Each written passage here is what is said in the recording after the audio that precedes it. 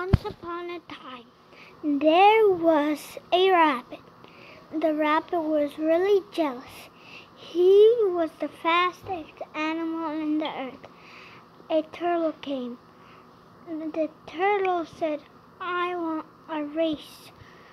The rabbit was laughing.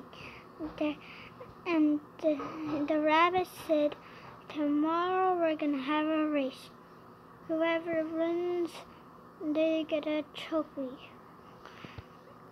And they're the fastest animal on the earth.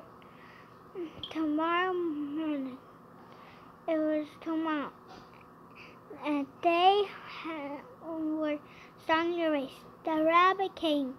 He didn't finish his breakfast. His breakfast was a carrot. The turtle finished his breakfast.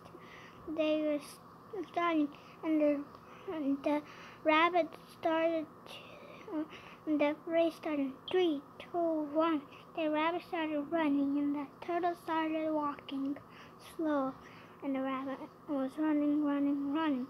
The turtle was walking walking walking.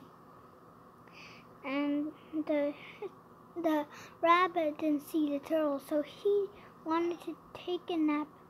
He finished his he was eating, getting his carrot, eating it, and then he took a long nap. And then the turtle walked and walked and walked until he finally saw the rabbit sleeping.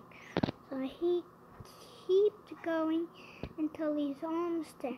And the rabbit waked up and he quickly ran to the fence line. And but the turtle was there first, so the turtle won. The end.